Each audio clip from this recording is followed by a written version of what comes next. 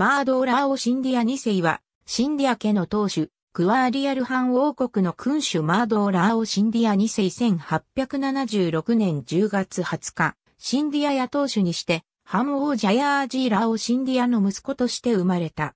1886年6月20日、ジャヤージーラーオは死亡し、マードーラーオ・シンディア2世がその地位を継承した。1894年12月15日まで、マードーラーオは、摂政評議会の下で統治し、以降は自身で統治を始めた。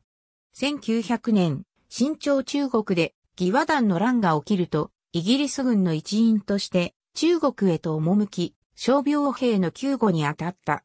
1902年8月9日、ウェストミンスター寺院で行われたイギリス初代国王、エドワード7世の戴冠式に出席した。1903年1月1日、マードーラーオはデリーダルバールに出席し、21発の祝砲を受けた。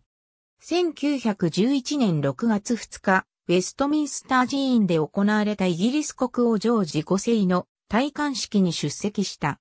同年12月12日、マードーラーオは再びデリーダルバールに出席した際、この時21発の祝砲を受けた。1925年6月5日、マードーラーオはフランスを旅行中、パリで急死した。